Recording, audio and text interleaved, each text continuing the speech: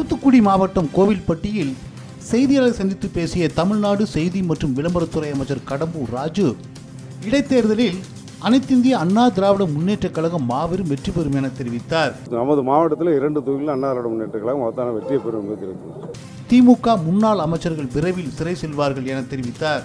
மேலும் புதிய தலைமைச் செயலகம் கட்டியது தொடர்பாக மு க ஸ்டாலின் பயப்படுவதாக தெரிவித்துள்ளார்.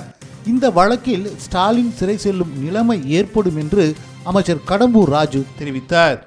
விரைவில் குளத்தூர் தொகுதியில் ஸ்டாலின் மீது போடப்பட்ட விதிமீறல் வழக்கு விரைவில் தீர்ப்புக்கு வர இருக்கின்றது. அவர் வருகின்ற நேரத்தில் நிச்சயமாக அவர் தகுதியில் போகக்கூடிய நிலைமை கூட உருவாகலாம். அந்த புதிய தலைமைச் செயலக கட்டட வழக்கில் மடியில் பயணம் பய கனமில்லை என்றால் வழியில் பயம் கிடையாது தேவையில்லை என்று அவர்கள் நிலைப்பாட்டில் இருந்திருக்கலாம். இன்றைக்கு அந்த வழக்கை கண்டு அஞ்சுகிறார்கள்.